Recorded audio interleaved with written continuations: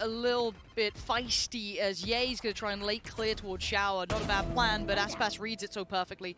Really diligent work from him. Huh? That rifle removed in the hands of Victor. Oh, Aspas. Aspas! This guy's a demon. Absolutely keep them in check, and all that hope gets removed here for Optic.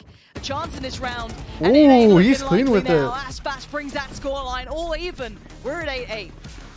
Just like that, louder back in this in the second half once again.